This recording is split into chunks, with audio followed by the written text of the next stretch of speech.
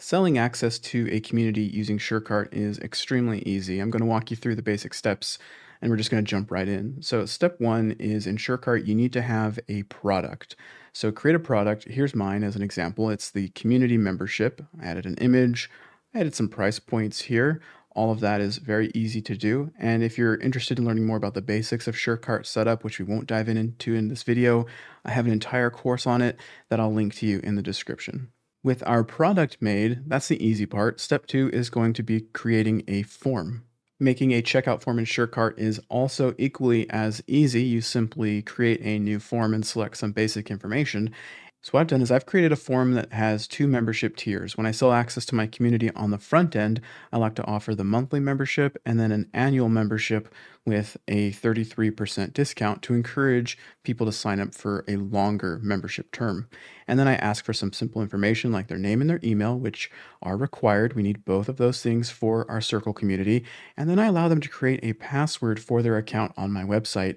And this goes really well with that tutorial I recently released showing how you can use single sign on between Circle and your website. So this is that basically that exact login that they will use to access the community and the rest is pretty straightforward, the payment information, etc. Step three is to create a page on your website. I created mine using Thrive Architect, which is super easy. You can see this looks really nice. It's very straightforward. I have some testimonials, and there is that form where the user can swap between the different membership tiers, and then it gets reflected down below in this payment information. Really, really nice embedded right on my site. And that's just built using the simplicity of Thrive Architect. I dropped two columns in, added some testimonials, and then I just drop my SureCart form code, that short code that you get when you create a form in SureCart. I have created several templates that are available that you can pick up. I'll also include a link to that in the description as well if you're interested.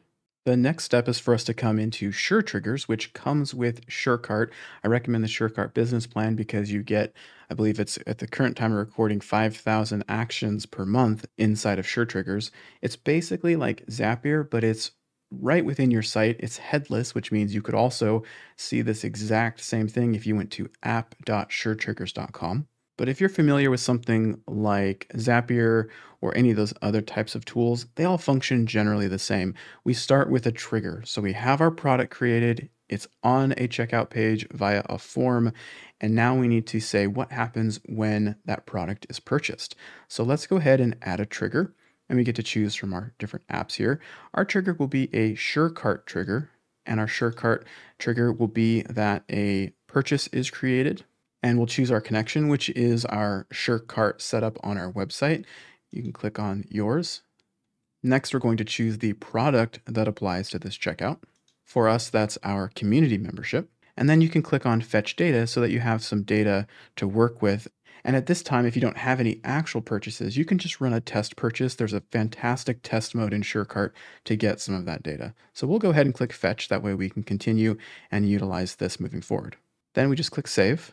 Next step is to click this plus symbol here to get another action. And that action is pretty straightforward. It's just going to be Circle, which is our community platform. Now, I do want to emphasize here that using Sure Triggers with Circle requires you to be on the Circle plan that provides API access. At the time of recording, that's the business plan. Now, don't worry if you're on one of Circle's lower plans. I'm going to show you an alternative. So keep watching and we'll go over that next. But I think you're going to really like this method because of just how simple it is to do here inside of Sure Triggers. So we're going to, from here, we're going to drop down and we're going to invite member to the community. We're going to select our connection. And if you haven't made that connection yet, just click create new connection. It's very easy to go into Circle and get your API key. You'll just drop it in there and you'll be right where I'm at. So we'll click circle, which is I think what I called mine. And now we need the customer's email address. So this is dynamic, right? It's not just for one customer, it's going to be every customer. So we're going to click this three stacked circles thing here. This is our dynamic data that we're going to drop in. And we're going to select the email. You can also just type this in. It's that left squiggly bracket customer.email and then the right squiggly bracket. You do also need to add the customer's name. I know it doesn't have a required symbol, but every time I've tried this, it's been required. So we're just going to go ahead and click on our dynamic data and we're going to add in the customer's name. I like to just do the first name. Again, you can either do what I just did by clicking on this three stacked circles and then finding the data, or you can just do left curly brace or squiggly bracket, whatever you want to call it, uh, and then customer dot first underscore name, and then close it. For password, we're leaving that blank because we are already using our single sign-on password through our community. We don't need to manually add a profile image or any of this information. The user can fill that out themselves. What we care about next is this skip invitation email option. We'll click on that and we'll click yes. We don't want to email the customer because we're doing all of this automatically for them because it works so well in our setup. Next, we just need to select the community. And for me on, on my Circle account, I just have the one. So we'll select Convology. And then for space groups, you can select all the space groups that apply to this purchase. So if you're like me, I'm just going to choose the community space group. My other one is for pro members only. And I don't need to select spaces because when a user in the space group community is added to that space group, they get access to all spaces inside of it. For tags, I'm going to select the community member because I have differentiation between pro and community. And that's everything else that we need to do there. You are going to need to click test action just to confirm that it works, which you can do, and then you can click save and you'll be good to go. One of the reasons why I love SureTriggers and I think that you'd benefit from getting the Circle business plan to have API access which is technically what this is called here, is because we can continue to use SureTriggers here to then click this plus button and we can proceed with adding them. I don't know, here's Fluent CRM. We can add them to our Fluent CRM integration or to our Discord server. Or, I mean, look at this long list of integrations. There's Fluent support, there, there's pretty much anything you would need is all here inside of SureTriggers and integrated so well already with your website. The slightly more affordable, well, maybe more than slightly more affordable alternative is Zapier.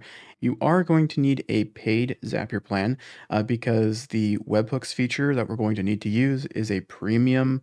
I think they call it a premium app or something like that here in Zapier. So you're going to need at least the starter plan. $19.99 per month, $20 a month. That comes out to be about $240 a year. That that is a bit cheaper than the Circle plan. And I'm going to walk you through how to set this Zap up. So the first thing you need to do is create a new Zap and choose Webhooks by Zapier. You can see here it is a premium app, so that's why we need that paid plan. So we're going to choose Webhooks by Zapier and we need to catch a hook. So let's click catch a hook and click continue. Click continue again. We don't need a child key. And here you're going to get a webhook URL. This is what we're going to need to click copy on so that we can send data to this webhook that Zapier will catch for us to use when setting up our integration with Circle. So let's go ahead and click copy on this so that we have it copied. And let's return back to SureTriggers. Now inside of SureTriggers in this version, we're not going to have API access. We're going to pretend we are on one of the other plans like the pro plan, not the business plan. We'll click delete here. We won't need that. Instead, we'll add another action and we need to select API. API is the action in SureTriggers that lets us send a webhook. So our API action is going to be down here. We'll select the method. We'll select post and we're going to post our, we'll do JSON, and our endpoint will be that URL that we just copied from Zapier.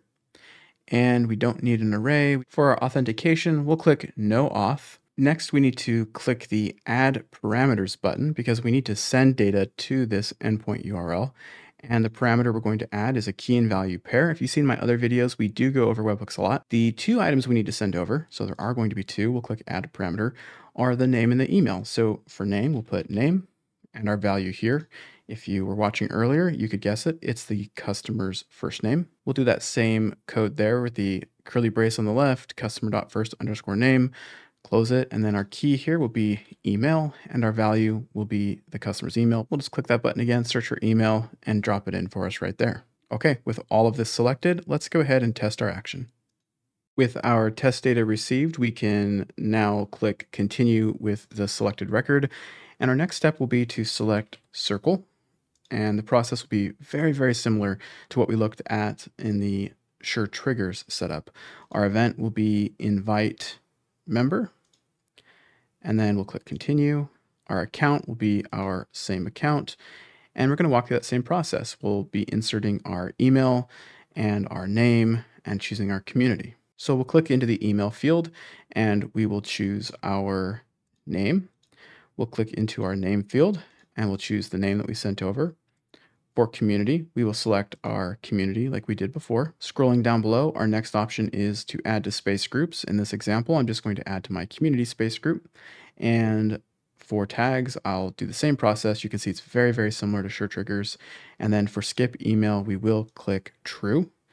And then we're done. We can click continue, test our Zap, save it, and now we've given access to our community. Now, whichever of those two options you chose to go with, whether it be to manage the invite through SureTriggers or to manage the invite through Zapier, the payment came through SureCart in our setup here. And let me show you why I really recommend that option. So if we are logged into my site, for example, I have an account section here. And when the customer visits the account section, they can see that they have an existing plan. And that existing plan is the community membership. Selecting the community membership now, here's what's so cool about SureCart. Remember when we created our product, we created multiple different plans. This current user is on the quarterly plan, which actually, if you remember, was not available on the front end sales order form. There were only monthly and annual plans that I made available. Well, what you're looking at here is an upgrade group. This allows the customers to come in and manage their own plan. So, yes, technically they can cancel their plan if I give them the option to, but they can also upgrade or downgrade their membership. Let's say that this customer wanted to go from my quarterly plan to my annual plan. They simply select annual, click next, and you'll see that SureCart has created a platform here where the user can upgrade immediately and only pay the prorated price. So in this case, they have a proration credit of $86.01 based on time that they've had the active subscription for. There's a payment method on file because this is a subscription. And so for my $392 per year membership, they only owe $305.99, which they'll pay immediately, and their new renewal date will be one year from today. Alternatively, I can go back to the plan section, and let's say I didn't want to be on the quarterly membership anymore. I wanted to downgrade to monthly. I could click that, click next, and now you'll see that by switching, this plan will end at the end of my current billing cycle. So on the quarterly membership, I have already paid up through September 24th, 2023 in this example.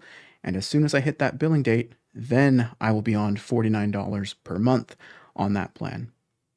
Super, super useful for managing your customers or letting your customers manage themselves and move between the different plans on your website.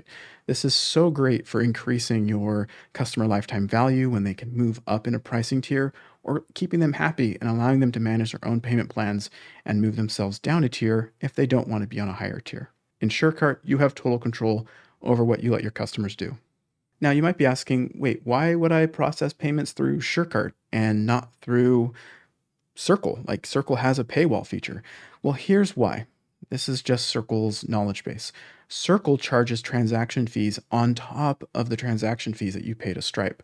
Stripe charges 2.9% and then 30 cents per transaction. If you're on the basic, heck, if you're on any of their plans, you're giving a percentage of your sale over to Circle every time somebody joins. Putting this into perspective, 4% on a paywall to give access to your community on a $50 per month membership is $2. Let's say you had 200 people join your membership this year. You'd end up spending $400 in order to charge or transact through Circle.